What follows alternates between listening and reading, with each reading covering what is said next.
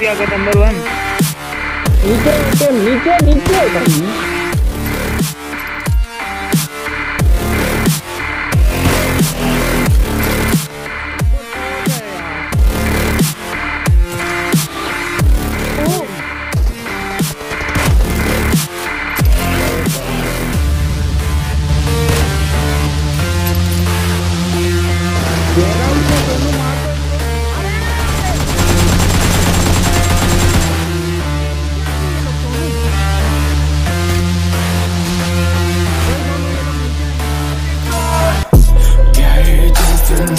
парня, кто читает свои сны?